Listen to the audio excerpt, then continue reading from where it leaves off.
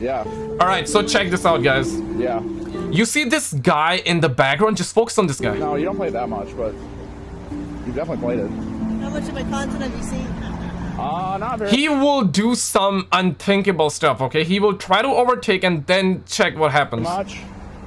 You know, pop in occasionally just to see the meta. Oh my. Wow.